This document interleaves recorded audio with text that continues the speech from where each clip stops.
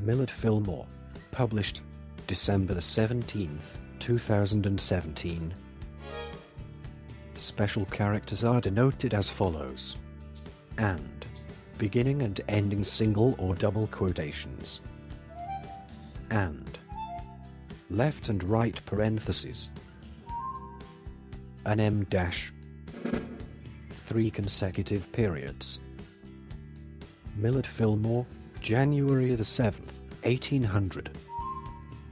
March the 8th, 1874, was the 13th President of the United States. 1850 to 53. The last to be a member of the Whig Party while in the White House. A former U.S. representative from New York, Fillmore was elected the nation's 12th vice president in 1848 and was elevated to the presidency by the death of Zachary Taylor. He was instrumental in getting the Compromise of 1850 passed, a bargain that led to a brief truce in the battle over slavery. He failed to win the Whig nomination for president in 1852. He gained the endorsement of the nativist Know Nothing Party four years later and finished third in that election.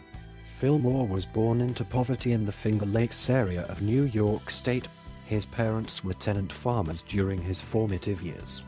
He rose from poverty through study and became a lawyer though he had little formal schooling. He became prominent in the Buffalo area as an attorney and politician, was elected to the New York Assembly in 1828 and to the U.S. House of Representatives in 1832. Initially, he belonged to the anti-Masonic Party, but became a Whig as the party formed in the mid-1830s. He was a rival for state party leadership with editor Thurlow Weed and Weed's protege, William H. Seward. Through his career, Fillmore declared slavery as an evil, but one beyond the powers of the federal government, whereas Seward was not only openly hostile to slavery, he argued that the federal government had a role to play in ending it. Fillmore was an unsuccessful candidate for Speaker of the House when the Whigs took control of the chamber in 1841, but was made Ways and Means Committee chairman. Defeated in bids for the Whig nomination for vice president in 1844 and for New York governor the same year, Fillmore was elected Comptroller of New York in 1847, the first to hold that post by direct election. Fillmore received the Whig vice presidential nomination in 1848 as Taylor's running mate, and the two were elected. He was largely ignored by Taylor, including in the dispensing of patronage in New York, on which Taylor consulted Weed and Seward. As vice president, Fillmore presided over angry debates in the Senate as Congress decided whether to allow slavery in the Mexican Cession. Fillmore supported Henry Clay's omnibus bill, the basis of the 1850 Compromise. Though Taylor did not. After President Taylor died in July 1850, Fillmore dismissed the cabinet and changed the administration's policy. The new president exerted pressure to gain the passage of the compromise, which gave legislative victories to both North and South, and which was enacted by September. The Fugitive Slave Act, expediting the return of escaped slaves to those who claimed ownership, was a controversial part of the compromise, and Fillmore felt himself duty bound to enforce it though it damaged his popularity and also the Whig Party, which was torn north from south. In foreign policy, Fillmore supported U.S. Navy expeditions to open trade in Japan, opposed French designs on Hawaii, and was embarrassed by Narciso Lopez's filibuster expeditions to Cuba. He sought election to a full term in 1852, but was passed over by the Whigs in favor of Winfield Scott. As the Whig Party broke up after Fillmore's presidency, many in Fillmore's conservative wing joined the Know Nothings, forming the American Party. In his 1,856 candidacy as that party's nominee, Fillmore had little to say about immigration, instead focusing on the preservation of the Union and won only Maryland. In his retirement, Fillmore was active in many civic endeavors. He helped to found the University of Buffalo, serving as its first chancellor. During the American Civil War, Fillmore denounced secession and agreed that the Union must be maintained by force if necessary, but was critical of the war policies of Abraham Lincoln. After peace was restored, He supported the Reconstruction policies of President Andrew Johnson. Obscure today, Fillmore has been praised by some for his foreign policy, but he is criticized by others for his enforcement of the Fugitive Slave Act and for his association with the Know Nothings. Historians and scholars have consistently ranked Fillmore as one of the worst presidents. Part 1 Early Life and Career Millard Fillmore was born in a log cabin on a farm in what is now Moravia, Cayuga County, in the Finger Lakes region of New York State, on January the 7th, 1800. His parents were Phoebe Millard and Nathaniel Fillmore. He was the second of eight children and the oldest son. Nathaniel Fillmore was the son of Nathaniel Fillmore Sr. 1739 to 1814, a native of Franklin, Connecticut who became one of the earliest settlers of Bennington when it was founded in the territory then called the New Hampshire Grants. Nathaniel Fillmore Sr. was a member of the Green Mountain Boys and served as an ensign and first lieutenant during the American Revolution. In 1767, Nathaniel Fillmore Sr. married Hepzibah Wood. 1747 to 1783 the mother of Nathaniel Fillmore and grandmother of Millard Fillmore. Members of the Fillmore family had resided in New England for several generations. Nathaniel Fillmore Sr. was the son of John Fillmore. 1702 to 1777, who lived in Massachusetts and Connecticut and worked as a ship's captain. John Fillmore was the son of John Fillmore Sr. 1676 to 1712 a native of Manchester, England who was also a mariner and died as a prisoner of the French on the island of Martinique during Queen Anne's War. Nathaniel Fillmore and Phoebe Millard moved from Vermont in 1799, seeking better opportunities than were available on Nathaniel's Stony Farm, but the title to their Cayuga County land proved defective, and the Fillmore family moved to nearby Sempronius, where they leased land as tenant farmers and Nathaniel occasionally taught school. As historian Tyler Anbinder described it, Fillmore's childhood was one of hard work, frequent privation, and virtually no formal schooling.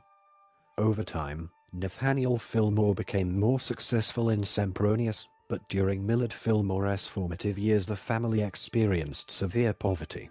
Eventually Nathaniel Fillmore became highly enough regarded that he was chosen to serve in local offices including Justice of the Peace. Hoping his oldest son would learn a trade, when Millard was 14 his father talked him out of attempting to enlist for the War of 1812 and apprenticed him to clothmaker Benjamin Hungerford in Sparta. Fillmore was relegated to menial labor. Unhappy at not learning any skills, he left Hungerford's employ. His father then placed him in the same trade at a mill in New Hope. Seeking to better himself, Millard Fillmore bought a share in a circulating library and read all the books he could. In 1819, he took advantage of a time of little work at the mill to enroll at a new academy in the town, where he met a classmate, Abigail Powers, and fell in love with her. Later in 1819, Nathaniel moved the family to Montville, a hamlet of Moravia, Appreciating his son's talents, Nathaniel Fillmore persuaded Judge Walter Wood, the Fillmore's landlord and the wealthiest person in the area, to allow Millard to be his law clerk for a trial period. Wood agreed to employ young Fillmore and to supervise him as he read law. Fillmore taught school for three months to earn money to buy out his apprenticeship at the mill. Fillmore left Wood after 18 months.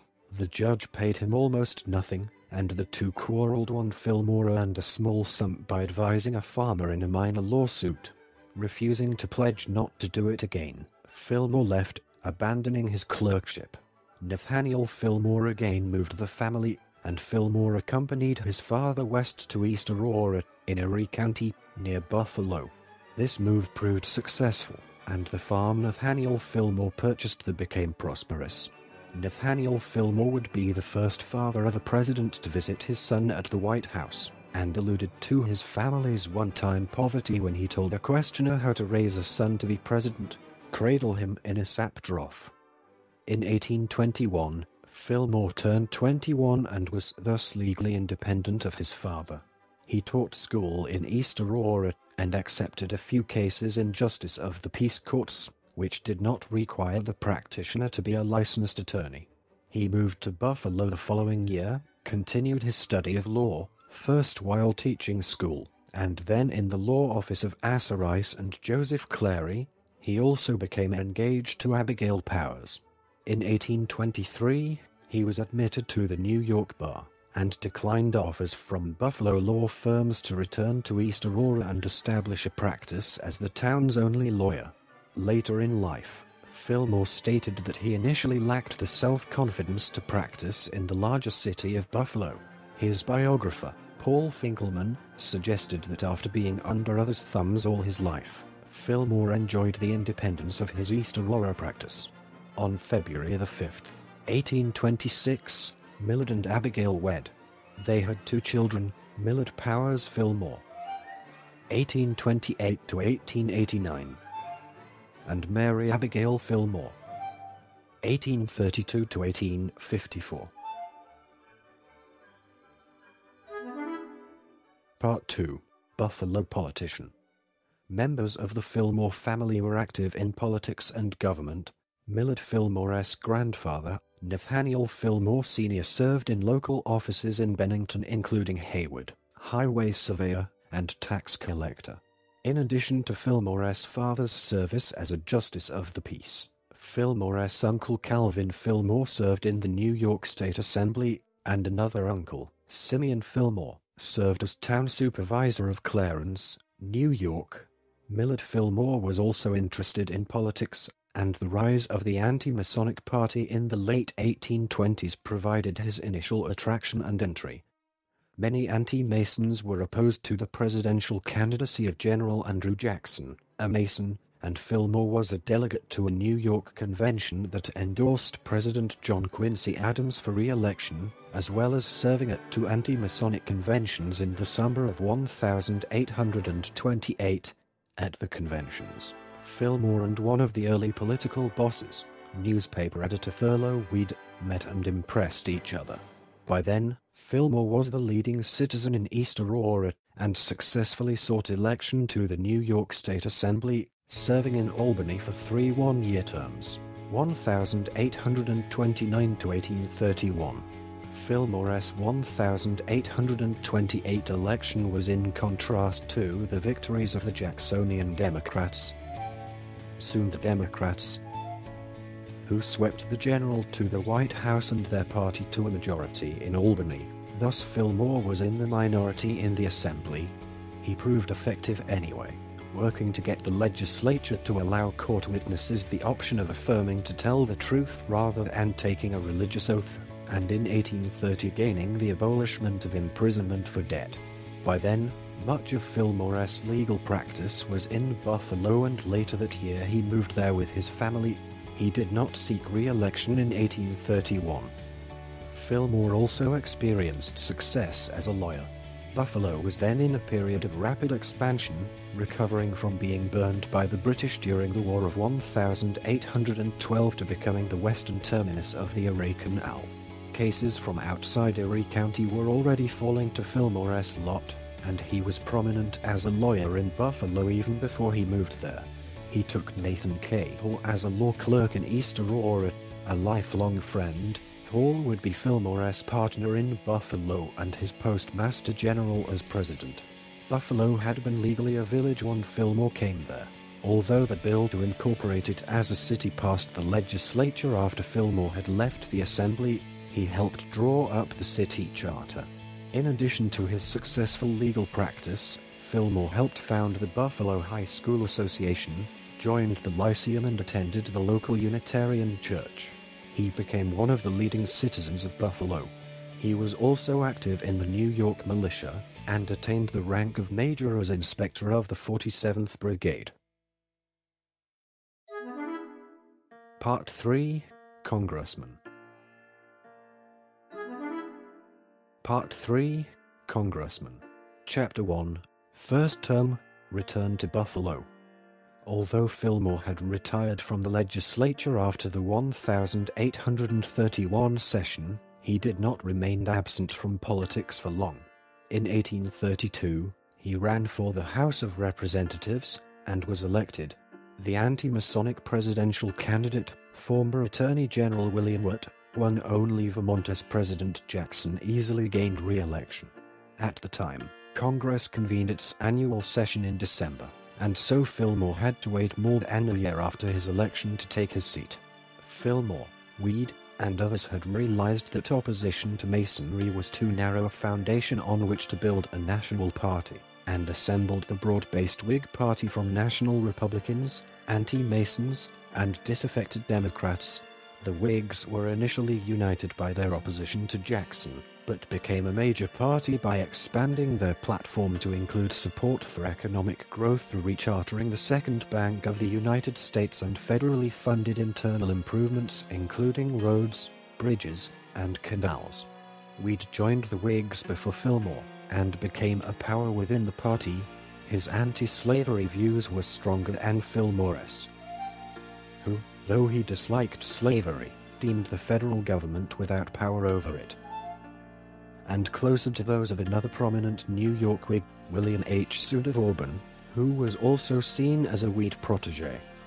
In Washington, Fillmore urged the expansion of Buffalo Harbor, a decision under federal jurisdiction, and in his private capacity served on a committee lobbying Albany for the expansion of the state-owned Erie Canal. Even during the 1832 campaign, Fillmore's affiliation as an anti-Mason had been uncertain, and he rapidly shed the label once sworn in. Fillmore came to the notice of the influential Massachusetts Senator Daniel Webster, who took the new congressman under his wing. Fillmore became a firm supporter and the close relationship between the two would continue until Webster's death late in Fillmore's presidency. Despite Fillmore's support of the Second Bank as a means of national development, he did not speak in the congressional debates in which some advocated renewing its charter, although Jackson had previously vetoed legislation for a charter renewal. Fillmore supported building infrastructure, voting in favor of constructing a bridge across the Potomac River and navigation improvements on the Hudson. Anti-Masonry was still strong in western New York though it was petering out nationally, and when the anti-Masons did not nominate him for a second term in 1834, Fillmore declined the Whig nomination, seeing that the two parties would split the anti-Jackson vote and elect the Democrat. Despite Fillmore's departure from office, he was a rival for state party leadership with Seward, the unsuccessful 1834 Whig gubernatorial candidate. Fillmore spent his time out of office building his law practice and boosting the Whig Party, which gradually absorbed most of the anti-Masons. By 1836, Fillmore was confident enough of anti-Jackson unity that he accepted the Whig nomination for Congress. Democrats, led by their presidential candidate, Vice President Martin Van Buren, were victorious nationwide and in Van Buren's home state of New York, but Western New York voted Whig and sent Fillmore back to Washington.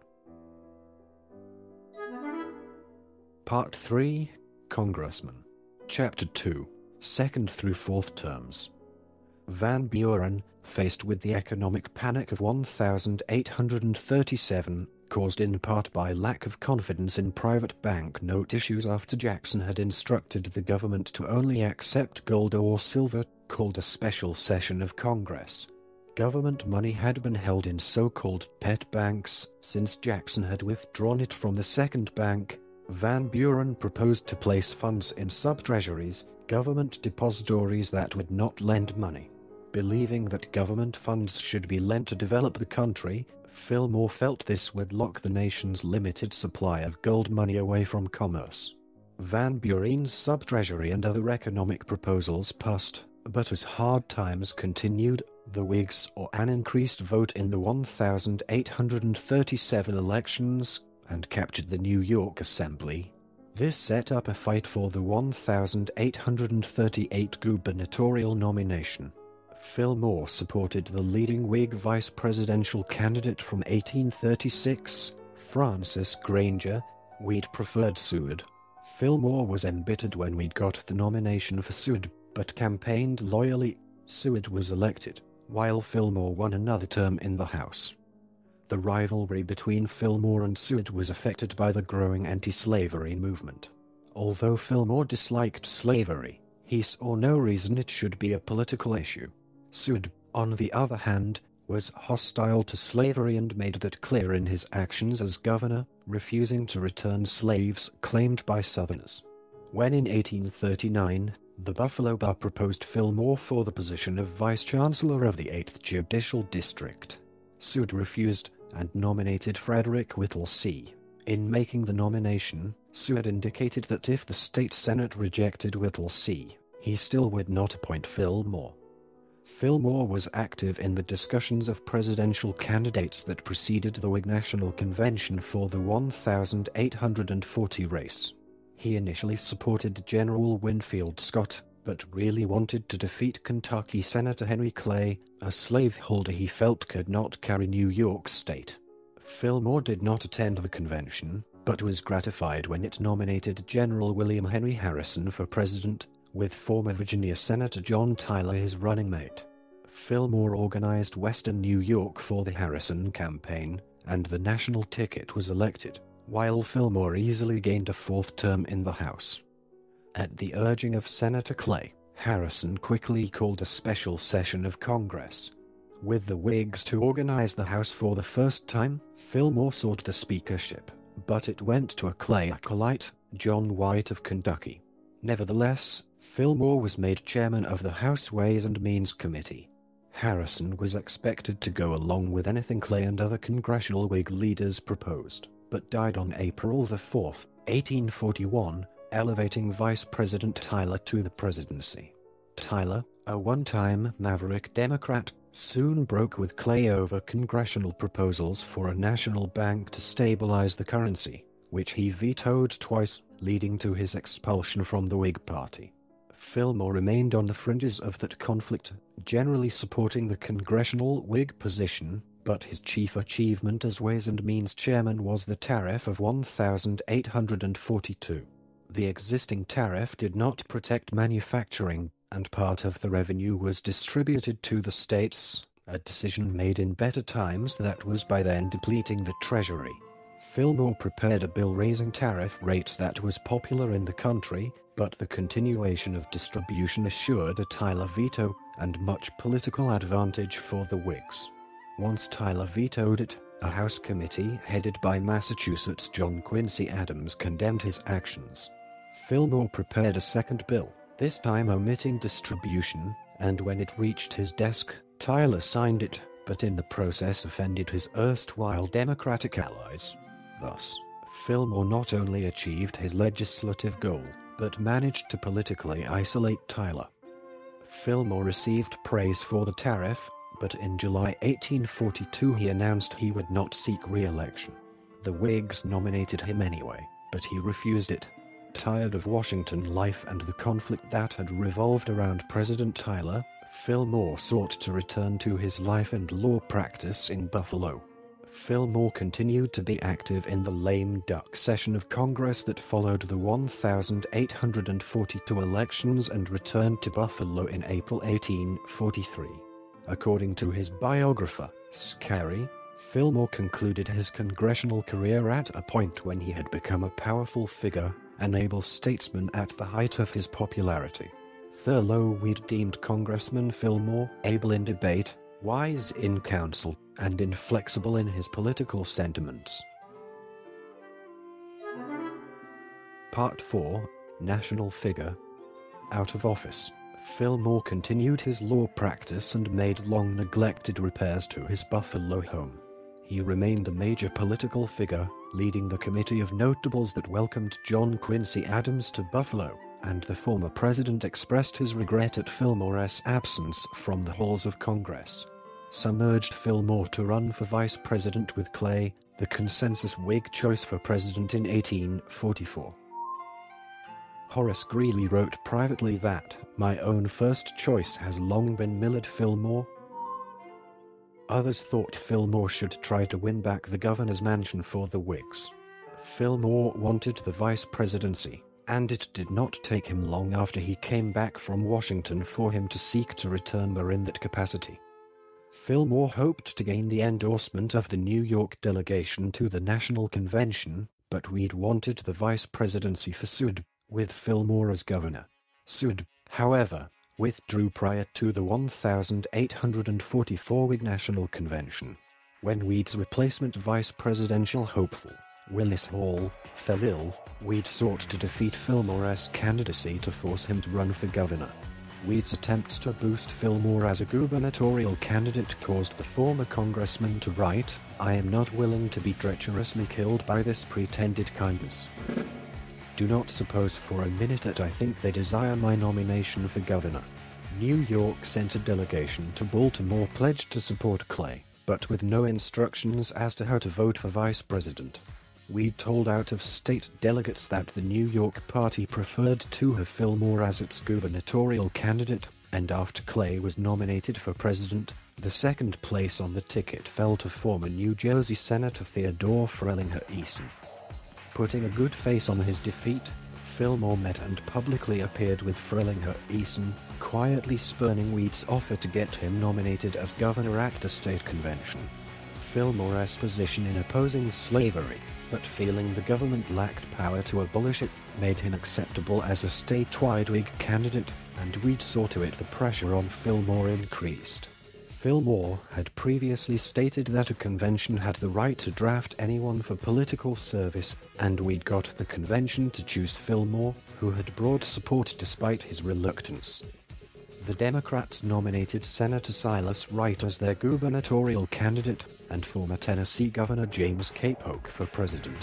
Although Fillmore worked to gain support among German Americans, a major constituency, he was hurt among immigrants by the fact that New York City Whigs had supported a nativist candidate in the mayoral election earlier in 1844. Fillmore and his party were tarred with that brush.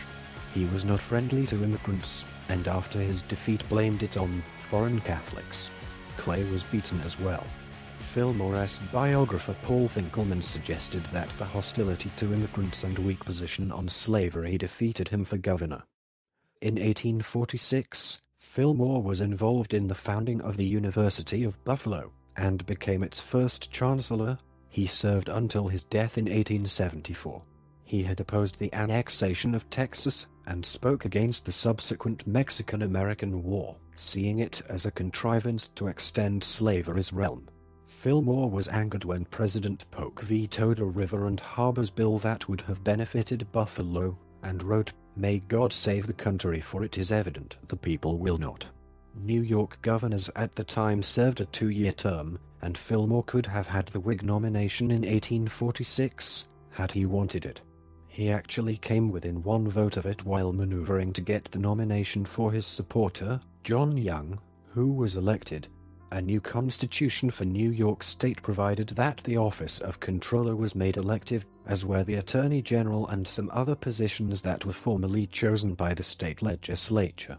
Fillmore's work in finance while Ways and Means chairman made him an obvious candidate for comptroller, and he was successful in getting the Whig nomination for the 1847 election. With a united party at his back, Fillmore won by 38,000 votes the largest margin a Whig candidate for statewide office would ever have in New York. Before moving to Albany to take office on January 1, 1848, he left his law firm and rented his house. Fillmore received positive reviews for his service as comptroller. In that office, he was a member of the State Canal Board, and both supported expansion and saw to it that it was managed competently. He secured an enlargement of Buffalo's canal facilities. The comptroller regulated the banks, and Fillmore stabilized the currency by requiring that state-chartered banks keep New York and federal bonds to the value of the bank notes they issued. A similar plan would be adopted by Congress in 1864. Part 5 Election of 1848 Part 5 Election of 1848 Chapter 1 Nomination President Polk had pledged not to seek a second term, and with gains in Congress during the 1846 election cycle, the Whigs were hopeful of taking the White House in 1848. The party's perennial candidates, Henry Clay and Daniel Webster, each wanted the nomination and amassed support from congressional colleagues. Many rank and file Whigs backed the Mexican War hero, General Zachary Taylor, for president.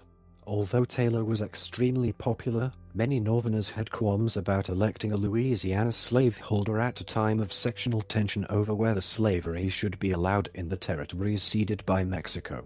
Taylor's uncertain political views gave others pause.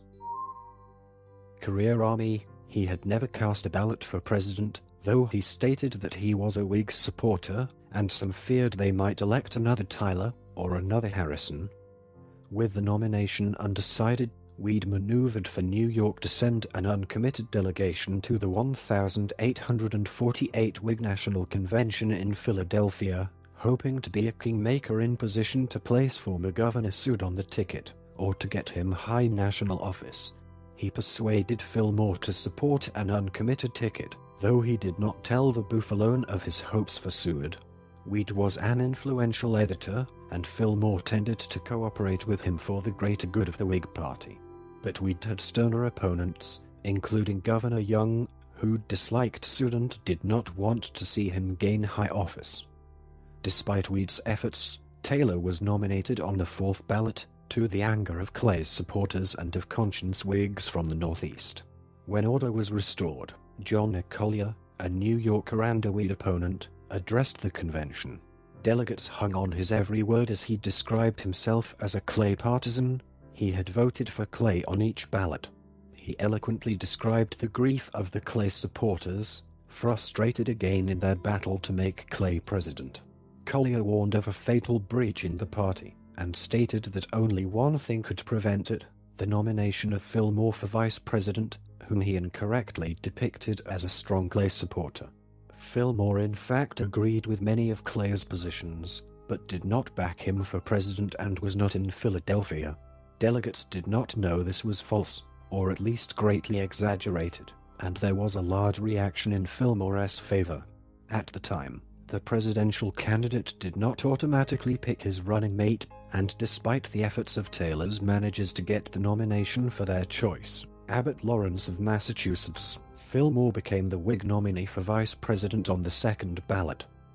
Weed had wanted the vice presidential nomination for Seward, who attracted few delegate votes, and Collier had acted to frustrate them in more ways than one. For the New Yorker Fillmore as vice president, under the political customs of the time, no one from that state could be named to the cabinet. Fillmore was accused of complicity in Collier's actions, but this was never substantiated. Nevertheless, there were sound reasons for the selection of Fillmore, as he was a proven vote getter from electorally crucial New York, and his track record in Congress and as a candidate showed his devotion to Whig doctrine, allaying fears he might be another Tyler was something to happen to General Taylor. Delegates remembered him for his role in the Tariff of 1842, and he had been mentioned as a vice presidential possibility along with Lawrence and Ohio's Thomas Ewing. His rivalry with Seward, already known for anti slavery views and statements, made him more acceptable in the South. Part 5 Election of 1848, Chapter 2 General Election Campaign it was customary in mid-19th century America for a candidate for high office not to appear to seek it. Thus, Fillmore remained at the Comptroller's office in Albany and made no speeches. The 1848 campaign was conducted in the newspapers and with addresses made by surrogates at rallies. The Democrats nominated Michigan Senator Lewis Cass for president, with General William O. Butler his running mate but it would be a three-way fight as the Free Soil Party, opposed to the spread of slavery, chose former President Van Buren. There was a crisis among the Whigs when Taylor also accepted the presidential nomination of a group of dissident South Carolina Democrats. Fearing that Taylor would be an party apostate like Tyler, Weed in late August scheduled a rally in Albany aimed at electing an uncommitted slate of presidential electors, but Fillmore interceded with the editor, assuring him that Taylor was loyal to the party. Northerners assumed that Fillmore, hailing from a free state, was an opponent of the spread of slavery. Southerners accused him of being an abolitionist, which he hotly denied. Fillmore responded to one Alabamian in a widely published letter that slavery was an evil, but one that the federal government had no authority over. Taylor and Fillmore corresponded twice in September, with the general happy that the crisis over the South Carolinians was resolved. Fillmore, for his part, assured his running mate that the electoral prospects for the ticket looked good, especially in the Northeast. In the end, the Taylor slash Fillmore ticket won narrowly, with New York's electoral votes again key to the election.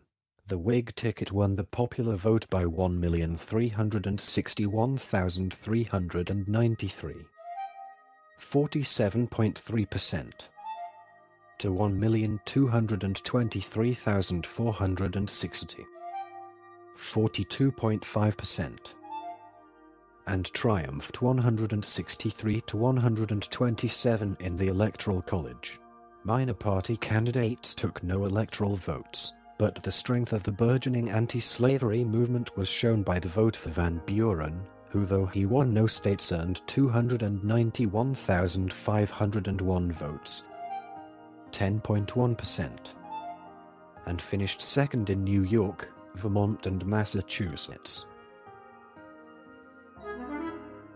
Part 6 Vice President 1849 to 1850 Millard Fillmore was sworn in as Vice President on March the 5th, 1849, in the Senate chamber.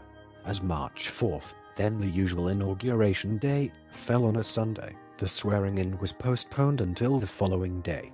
Fillmore took the oath from Chief Justice Roger B. Taney and in turn swore in the senators beginning their terms, including Seward, who in February had been elected by the New York legislature. Fillmore then went outside with the senators to attend Taylor's inauguration, and that night accompanied the president to the inaugural balls. Fillmore had spent the four months between the election and swearing in being feted by the New York Whigs and winding up affairs in the comptroller's office. Taylor had written promising influence in the new administration, but the president-elect mistakenly thought that the vice president was a cabinet member, which was not true in the 19th century. Fillmore, Seward and Weed had met and come to general agreement on how to divide federal jobs in New York. Seward, once he went to Washington, made friendly contact with Taylor's cabinet nominees, advisers, and the general's brother, and an alliance between the incoming administration and the Weed machine was soon underway behind Fillmore's back. In exchange for support, Seward and Weed were allowed to designate who would fill federal jobs in New York, with Fillmore given far less than had been agreed. When Fillmore, after the inauguration, discovered this, he went to Taylor, but the only result was that the warfare against Fillmore's influence became open. Fillmore supporters like Collier, who had nominated him at the convention, were passed over for candidates backed by Weed, who was triumphant even in Buffalo. This greatly increased the influence of Weed in New York politics and diminished Fillmore's. According to Rayback, by mid 1849, Fillmore's situation had become desperate. Despite his lack of influence, he was pestered by office seekers and those seeking to lease or sell a house to him, as there was then no official residence for the vice president. He enjoyed one aspect of his office due to his lifelong love of learning. He became deeply involved in the administration of the Smithsonian Institution as a member ex officio of its Board of Regents. Through 1849, the status of slavery in the territories remained unresolved. Taylor advocated the admission of California and of New Mexico states. Both were likely to outlaw slavery. The Southerners were surprised to learn the president, despite being a Southern slaveholder, did not support the introduction of slavery into the new territories, as he believed the institution could not flourish in the arid Southwest.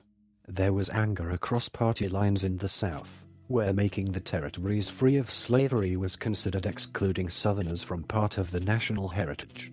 When Congress met in December 1849, this discord broke out in the election for Speaker, which took weeks and dozens of ballots to resolve as the House divided along sectional lines. Fillmore fought back against Weed by building a network of like-minded Whigs in New York State, with their positions publicized by the establishment of a rival newspaper to Weed's Albany Evening Journal. This was backed by wealthy New Yorkers. All pretense at friendship between Fillmore and Weed vanished in November 1849 when the two happened to meet in New York City, and they exchanged accusations. Fillmore presided over some of the most momentous and passionate debates in American history as the Senate debated whether to allow slavery in the territories. The ongoing sectional conflict had already excited much discussion when on January the 21st, 1850, President Taylor sent a special message to Congress urging the admission of California immediately and New Mexico later, and that the Supreme Court settle the boundary dispute whereby the state of Texas claimed much of what is now the state of New Mexico. On January 29th, Henry Clay introduced what was called the Omnibus Bill. The bill would give victories to both North and South. It would admit California as a free state organize territorial governments in New Mexico and Utah, and ban the importation of slaves into the District of Columbia for sale and export out of it. It would also toughen the Fugitive Slave Act, as resistance to enforcement in parts of the North was a long-time Southern grievance. Clay's bill provided for the settlement of the Texas-New Mexico boundary dispute. The status of slavery in the territories would be decided by those living there known as popular sovereignty. Taylor was unenthusiastic about the bill, and it languished in Congress, but Fillmore, after hearing weeks of debate, in May 1850 informed Taylor that if senators divided equally on the bill, he would cast his tie-breaking vote in favor. He did his best to keep the peace among the senators, reminding them of the vice president's power to rule them out of order, but was blamed for failing to maintain it when a physical confrontation between Mississippi's Henry S. Foote and Missouri's Thomas Hart Benton broke out on April 17th, with Foote pointing a gun at his colleague as Benton advanced on him. Part 7 Presidency 1850 to 1853 Part 7 Presidency Chapter 1 Succession Amid Crisis. July the 4th, 1850 was a very hot day in Washington, and President Taylor, who attended 4th of July ceremonies, refreshed himself, likely with cold milk and cherries. What he consumed probably gave him gastroenteritis, and he died on July 9th. Taylor, nicknamed Old Rough and Ready, had gained a reputation for toughness through his military campaigning in the heat, and his sudden death came as a shock to the nation. Fillmore had been called from his chair presiding over the Senate on July 8th, and had sat with members of the cabinet in a vigil outside Taylor's bedroom at the White House. He received the formal notification of the president's death, signed by the cabinet, on the evening of July 9th in his residence at the Willard Hotel. After acknowledging the letter and spending a sleepless night, Fillmore went to the House of Representatives, where, at a joint session of Congress, he took the oath as president from William Cranch, Chief Judge of the Federal Court for the District of Columbia, and the man who had sworn in President Tyler. The cabinet officers, as was customary when a new president took over, submitted their resignations, expecting Fillmore to refuse, allowing them to continue in office. Fillmore had been marginalized by the cabinet members, and the new president accepted the resignations, though he asked them to stay on for a month, which most refused to do. Fillmore is the only president who succeeded by death or resignation not to retain, at least initially, his predecessor's cabinet. He was already in discussions with Whig leaders, and on July 20th began to send new nominations to the Senate, with the Fillmore cabinet to be led by Webster as Secretary of State. Webster had outraged his Massachusetts constituents by supporting Clay's bill, and with his Senate term to expire in 1851, had no electoral future in his home state. Fillmore appointed his old law partner, Nathan Hall, as Postmaster General, a cabinet position that controlled many patronage appointments. The new department heads were mostly supporters of the compromise, as was Fillmore. The brief pause from politics out of national grief at Taylor's death did not abate the crisis. Texas had attempted to assert its authority in New Mexico Territory, and the state's governor, Peter H. Bell, had sent belligerent letters to President Taylor. Fillmore received another such after becoming president. He reinforced federal troops in the area and warned Bell to keep the peace. By July 31st, Clay's bill was effectively dead as all the significant provisions had been deleted by amendment of and the organization of Utah Territory. One wag put it that the Mormons were the only remaining passengers on the omnibus. Illinois Senator Stephen A. Douglas then stepped to the fore, with Clay's agreement, proposing to break the omnibus into individual bills that could be passed piecemeal. Fillmore endorsed this strategy, with the omnibus to become, as it proved, five bills. Fillmore sent a special message to Congress on August 6, 1850, disclosing the letter from Governor Bell and his reply, warning that armed Texans would be viewed as intruders, and urging Congress to diffuse sectional tensions by passing the compromise. Without the great triumvirate of John C. Calhoun, Webster and Clay, who had long dominated the Senate, Douglas and others led that body towards the administration backed package of bills. Each bill passed the Senate with the support of the section that wanted it, plus a few members who were determined to see all the bills passed. The battle then moved to the House, which had a northern majority because of population. Most contentious was the Fugitive Slave Bill, whose provisions were anathema to abolitionists. Fillmore applied pressure to get Northern Whigs to abstain rather than oppose, including New Yorkers. Threatening to kill the renomination of Congressman Abraham Schermerhorn of Rochester, whose constituents included Frederick Douglass, if he voted against the bill. Through the legislative process, various changes were made, including the setting of a boundary between New Mexico Territory and Texas. The state would be given a payment to settle any claims. California was admitted as a free state, the district slave trade was ended, and the final status of slavery in New Mexico and Utah would be settled later. Fillmore signed the bills as they reached his desk, holding the Fugitive Slave Bill for two days until he received a favorable opinion as to its constitutionality from the new Attorney General, John J. Crittenden.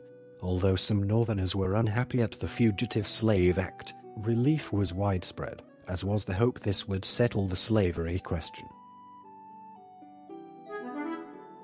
Part 7 Presidency Chapter 2 Domestic Affairs The Fugitive Slave Act continued to be contentious after its enactment. Southerners complained bitterly about any slackness, but enforcement was highly offensive to many Northerners. Abolitionists recited the inequities of the law. It punished severely any aid to an escaped slave, and if captured, he had no due process and could not testify before a magistrate who would be paid more for deciding he was a slave than for deciding he was not. Nevertheless, Fillmore believed himself bound by his oath as president and by the bargain made in the compromise to enforce the Fugitive Slave Act. He did so even though some prosecutions or attempts to return slaves ended badly for the government, with acquittals or the slave taken from federal custody and to freedom by a Boston mob. Such cases were widely publicized north and south, and inflamed passions in both places, undermining the good feeling that had followed the compromise. In August 1850, the social reformer Dorothea Dix wrote to Fillmore, urging support for her proposal in Congress for land grants to finance asylums for the impoverished mentally ill. Though her proposal did not pass, they became friends, meeting in person and corresponding, continuing well after Fillmore's presidency. In September of that year, Fillmore appointed Church of Jesus Christ of Latter-day Saints leader Brigham Young as the first governor of Utah Territory. In gratitude, Young named the first territorial capital Fillmore and the surrounding county Millard. A longtime supporter of national infrastructure development, Fillmore signed bills to subsidize the Illinois Central Railroad from Chicago to Mobile and for a canal at Sault Ste. Marie. The 1851 completion of the Erie Railroad in New York prompted Fillmore and his cabinet to ride the first train from New York City to the shores of Lake Erie, in company with many other politicians and dignitaries. Fillmore made many speeches along the way from the train's rear platform, urging acceptance of the compromise, and afterwards went on a tour of New England with his Southern cabinet members. Although Fillmore urged Congress to authorize a transcontinental railroad, it did not do so until a decade later. Fillmore appointed one justice to the Supreme Court of the United States and made four appointments to United States District Courts, including that of his law partner and cabinet officer, Nathan Hall, to the Federal District Court in Buffalo. When Supreme Court Justice Levi Woodbury died in September 1851 with the Senate not in session, Fillmore made a recess appointment of Benjamin Robbins Curtis to the High Court. In December, Congress having convened, Fillmore made formal nomination of Curtis, who was confirmed. Justice Curtis would, in 1857, dissent in the slavery case of Dred Scott v. Sandford, and resign as a matter of principle. Justice John McKinley's death in 1852 led to repeated, fruitless attempts by the President to fill the vacancy. The Senate took no action on the nomination of New Orleans Attorney Edward A. Bradford. Fillmore's second choice, George Edmund Badger, asked that his name be withdrawn. Senator-elect Judah P. Benjamin declined to serve. The nomination of William C. Micou, a New Orleans lawyer recommended by Benjamin, was not acted on by the Senate. The vacancy was finally filled after Fillmore's term, when President Franklin Pierce nominated John Archibald Campbell, who was confirmed by the Senate. Part 7 Presidency Chapter 3 Foreign Relations Fillmore oversaw two highly competent Secretaries of State, Daniel Webster, and after the New Englander's 1852 death, Edward Everett, looking over their shoulders and making all major decisions. The president was particularly active in Asia and the Pacific, especially with regard to Japan, which at this time still prohibited nearly all foreign contact. American merchants and ship owners wanted Japan opened up for trade. This would allow not only commerce, but permit American ships to call there for food and water, and in emergencies without being punished. They were concerned that American sailors cast away on the Japanese coast were imprisoned as criminals. Fillmore and Webster dispatched Commodore Matthew C. Perry to open Japan to relations with the outside world, by force if necessary though the Commodore did not reach Japan until after the end of Fillmore's term, Fillmore ordered the Perry expedition. Fillmore was a staunch opponent of European influence in Hawaii. France under Napoleon III sought to annex Hawaii, but backed down after Fillmore issued a strongly worded message warning that the United States would not stand for any such action. Taylor had pressed Portugal for payment of American claims dating as far back as the War of 1812 and had refused offers of arbitration, Fillmore gained a favorable settlement. Fillmore had difficulties regarding Cuba. Many Southerners hoped to see the island part of the U.S. as slave territory. Cuba was a colony of Spain where slavery was practiced. Venezuelan adventurer Narciso Lopez recruited Americans for three filibustering expeditions to Cuba in the hope of overthrowing Spanish rule there. After the second attempt in 1850, Lopez and some of his followers were indicted for breach of the Neutrality Act, but were quickly acquitted by friendly Southern juries. The final Lopez expedition ended with his execution by the Spanish, who put several Americans before the firing squad, including the nephew of Attorney General Crittenden. This resulted in riots against the Spanish in New Orleans, causing their consul to flee. Historian Albert E. Smith, who wrote of the Taylor and Fillmore presidencies, suggested that Fillmore could have had war against Spain had he wanted it. Instead, Fillmore, Webster and the Spanish worked out a series of face-saving measures that settled the crisis without armed conflict. Many Southerners, including Whigs, supported the filibusters, and Fillmore's response helped divide his party as the 1852 election approached. A much publicized event of Fillmore's presidency was the arrival in late 1851 of Lajos Kossuth, the exiled leader of a failed Hungarian revolution against Austria. Kossuth wanted the US to recognize Hungary's independence. Many Americans were sympathetic to the Hungarian rebels, especially recent German immigrants, who were now coming to the US in large numbers and had become a major political force. Kossuth was feted by Congress, and Fillmore allowed a White House meeting after receiving word that Kossuth would not try to politicize it. In spite of his promise, Kossuth made a speech promoting his cause. The American enthusiasm for Kossuth petered out, and he departed for Europe. Fillmore refused to change American policy, remaining neutral. Part 7 Presidency Chapter 4 Election of 1852 and completion of term. As the election of 1852 approached, Fillmore remained undecided whether to run for a full term as president. Secretary Webster had long coveted the presidency and, though past 70, planned a final attempt to gain the White House. Fillmore was sympathetic to the ambitions of his longtime friend, but though he issued a letter in late 1851 stating that he did not seek a full term, was reluctant to rule it out, fearing the party would be captured by the Sewardites. Thus, approaching the National Convention in Baltimore, to be held in June 1852, the major candidates were Fillmore, Webster and General Scott. Weed and Seward backed Scott. In late May, the Democrats nominated former New Hampshire Senator Franklin Pierce, who had been out of national politics for nearly a decade before 1852, but whose profile had risen as a result of his military service in the Mexican War. The nomination of Pierce, a Northerner sympathetic to the Southern view on slavery, united the Democrats and meant the Whig candidate would face an uphill battle to gain the presidency.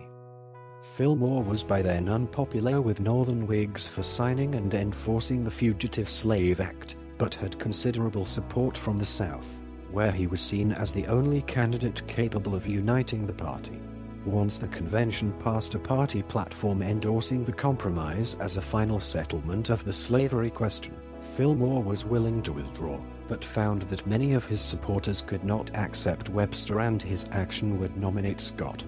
The convention deadlocked, and this persisted through Saturday, June the 19th, when a total of 46 ballots had been taken, delegates adjourned until Monday.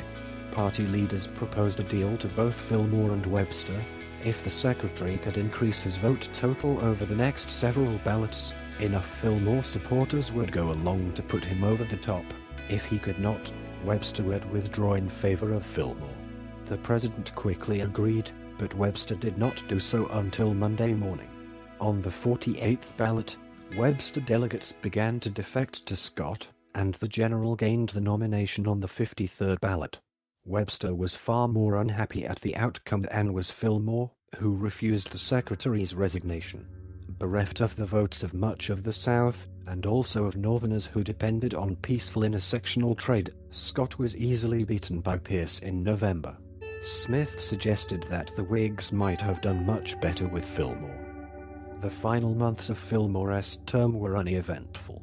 Webster died in October 1852, but during the final illness, Fillmore effectively acted as his own Secretary of State without incident, and Everett stepped competently into Webster's shoes. Fillmore intended to lecture Congress on the slavery question in his final annual message in December but was talked out of it by his cabinet, and he contented himself with pointing out the prosperity of the nation and expressing gratitude for the opportunity to serve it. There was little discussion of slavery during the lame duck session of Congress, and Fillmore left office on March the 4th, 1853, succeeded by Pierce. Part 8 Post-Presidency Part 8 Post-Presidency. Chapter 1 Tragedy and Political Turmoil. 1853 to 1855 Fillmore was the first president to return to private life without being independently wealthy or in possession of a landed estate, and, with no pension to anticipate, was unsure how he would make a living consistent with the dignity of his former office. His friend, Judge Hall, assured him that it would be proper for him to practice law in the higher courts of New York, and Fillmore intended to do so. The Fillmores had planned a tour of the South after leaving the White House, but Abigail caught a cold at President Pierce's inauguration, developed pneumonia, and died in Washington on March 30, 1853. A saddened Fillmore returned to Buffalo for the burial. The fact that he was in mourning limited his social activities, and he made ends meet on the income from his investments. He was bereaved again on July the 26th, 1854 when his only daughter Mary died of cholera. The former president ended his seclusion in early 1854 as debate over Senator Douglas's Kansas-Nebraska bill embroiled the nation. This would open the northern portion of the Louisiana Purchase settlement, including slavery, and would end the northern limit on slavery under the Missouri Compromise of 1820. Fillmore decided on an ostensibly non-political national tour, hoping to rally disaffected Whig politicians to preserve the Union and back a run for president, for he retained many supporters. This occupied much of the late winter and spring of 1854. Fillmore made public appearances opening railroads and visiting the grave of Senator Clay, but met behind the scenes with politicians. Such a comeback could not be under the auspices of the Whig Party, with its remnants divided by the Kansas-Nebraska legislation, which passed with the support of Pierce. Many northern foes of slavery, such as Seward, gravitated towards a new party, the Republicans, but Fillmore saw no home for himself there. There was in the early 1850s considerable hostility towards immigrants, especially Catholics, who had recently arrived in the United States in large numbers, and several nativist organizations, including the Order of the Star-Spangled Banner, sprang up in response. By 1854, the order had morphed into the American Party, which became known as the Know Nothings, for in its early days, members were sworn to hold private its internal deliberations, and if asked were to say they knew nothing about them. Many from Fillmore's National Whig faction had joined the Know Nothings by 1854 and influenced the organization to take up causes besides nativism. The success of the Know Nothings in the 1854 midterm elections, in which they won in several northeastern states and showed strength in the South, encouraged Fillmore, and on January the 1st, 1855, he sent a letter for publication, warning against immigrant influence in American elections, and soon thereafter joined the Order of the Star-Spangled Banner. Later that year, Fillmore went abroad, stating publicly that as he lacked office, he might as well travel. The trip was at the advice of political friends, who felt that by touring, he would avoid involvement in the contentious issues of the day, and he spent over a year, from March 1855 to June 1856, in Europe and the Middle East. Queen Victoria is said to have pronounced the ex-president the handsomest man she had ever seen, while his presence in the gallery of the House of Commons at the same time as Van Buren excited a comment from MP John Bright. Fillmore was offered an honorary Doctor of Civil Law, DCL, degree by the University of Oxford. Fillmore turned down the honor explaining that he had neither the literary nor scientific attainment to justify the degree. He is also quoted as having explained that he lacked the benefit of a classical education and could not, therefore, understand the Latin text of the diploma, adding that he believed no man should accept a degree he cannot read. Another possibility is that Fillmore refused the degree to escape the heckling and taunting to which Oxford students typically subjected the recipients of such honours. Dorothea Dix had preceded him to Europe and was lobbying to improve conditions for the mentally ill. They continued to correspond and met several times. In Rome, Fillmore had an audience with Pope Pius IX. Fillmore carefully weighed the political advantages and disadvantages of meeting with Pius, and nearly withdrew from the meeting when told he would have to kneel and kiss the Pope's hand. To avoid this, Pius remained seated throughout the meeting. Part 8 Post Presidency Chapter 2 1856 Campaign Fillmore's allies were in full control of the American Party and they arranged for him to get its presidential nomination while he was in Europe. As Fillmore's running mate, the Know Nothing Convention chose Andrew Jackson Donelson of Kentucky, nephew by marriage and one time ward of President Jackson. Fillmore returned in June 1856, arriving to a huge reception in New York City. He progressed across the state to Buffalo, speaking at a series of welcomes. These addresses were ostensibly in thanks for his reception, and so did not violate the custom that it was considered office seeking for a presidential hopeful to make campaign speeches. Fillmore warned that electing the Republican candidate, former California Senator John C. Fremont, who had no support in the South, would divide the Union and lead to civil war. Both Fillmore and the Democratic candidate, former Pennsylvania Senator James Buchanan, agreed that slavery was principally a matter for state and not federal government. Fillmore rarely spoke about the immigration question and focused on the sectional divide, urging preservation of the Union. Once Fillmore was back home in Buffalo, he had no excuse to make speeches, and his campaign stagnated through the summer and fall of 1856. Political fixers who had been Whigs such as Weed, tended to join the Republican Party, and the Know Nothings lacked experience at selling anything but nativism.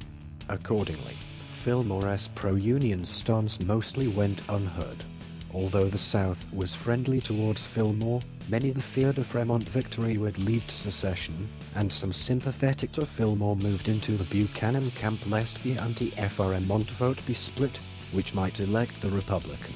Scarry suggested that the events of 1856, including the conflict in Kansas Territory and the caning of Charles Sumner on the floor of the Senate polarized the nation, making Fillmore's moderate stance obsolete. On election day, Buchanan won with 1,836,072 votes, 45.3% and 174 electoral votes to Fremont's 1,342,345 votes, 33.1%, and 114 electoral votes. Fillmore and Donelson finished third, winning 873,053 votes, 21.6%, and carrying the state of Maryland and its eight electoral votes, the American Party ticket narrowly lost in several southern states, and a change of fewer than 8,000 votes in Louisiana, Kentucky, and Tennessee would have thrown the election to the House of Representatives, where the sectional divide would have made the outcome uncertain. Historian Allan Nevins wrote that Fillmore was not a know-nothing or a nativist. He was out of the country when the nomination came and had not been consulted about running.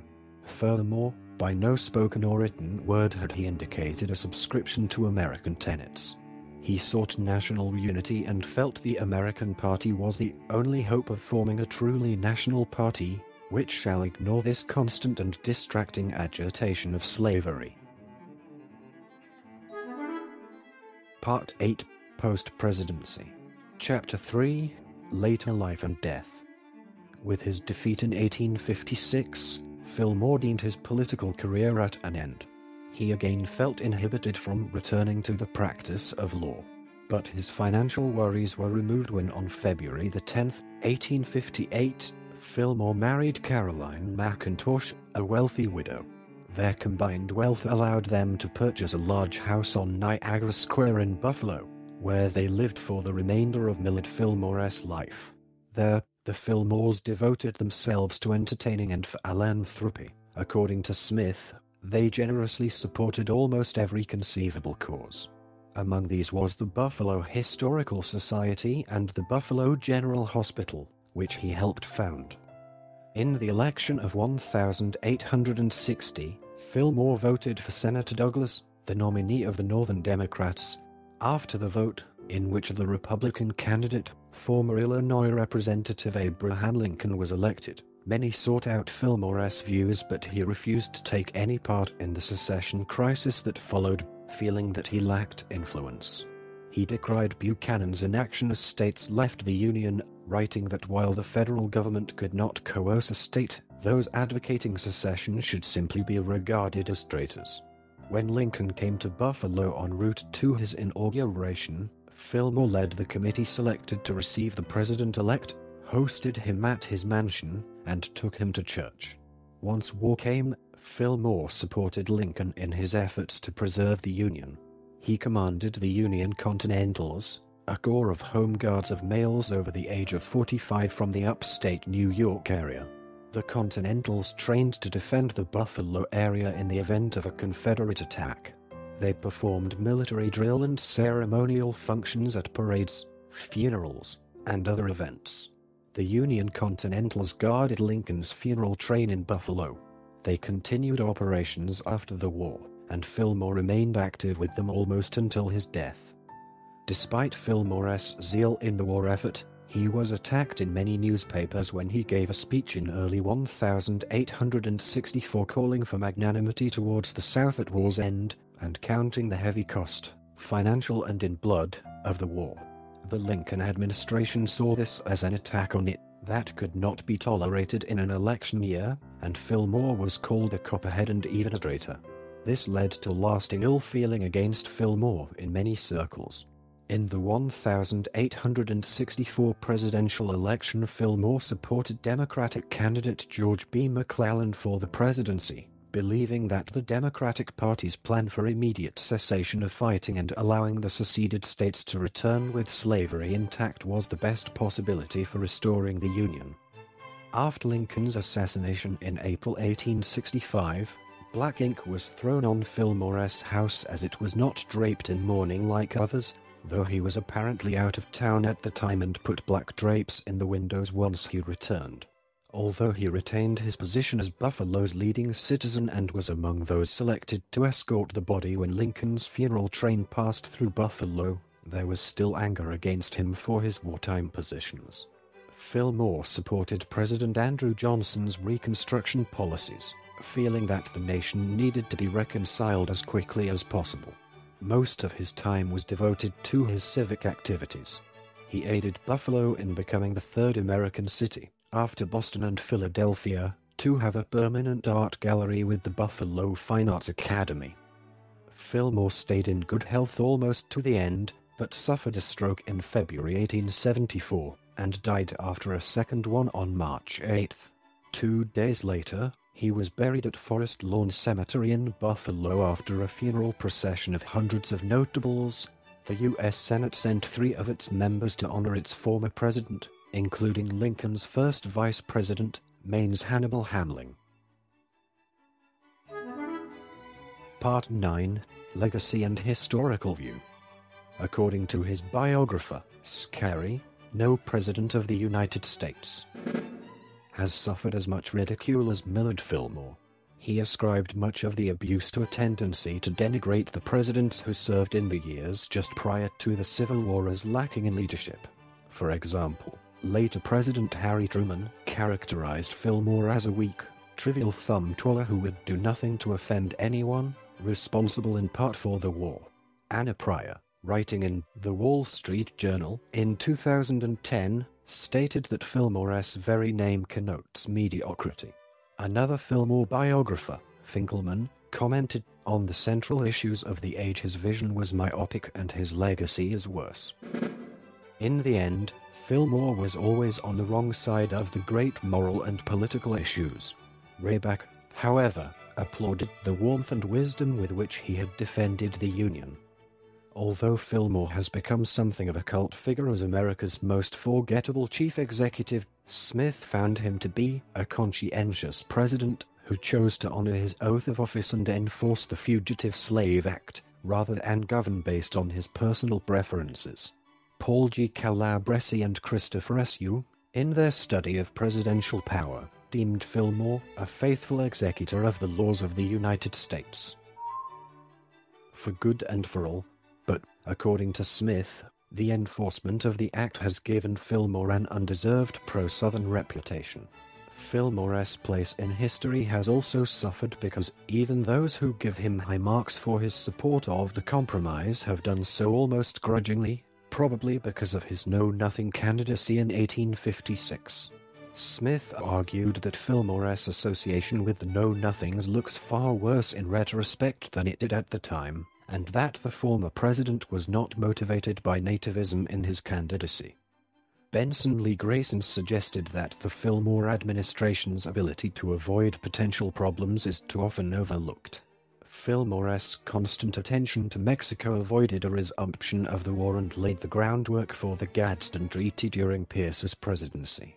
Meanwhile, the Fillmore administration resolved a controversy with Portugal left over from the Taylor administration, smoothed over a disagreement with Peru over Guano Islands, and peacefully resolved disputes with Britain, France, and Spain over Cuba.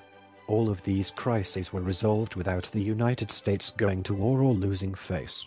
Grayson also applauded Fillmore's firm stand against Texas ambitions in New Mexico during the 1850 crisis. Fred I.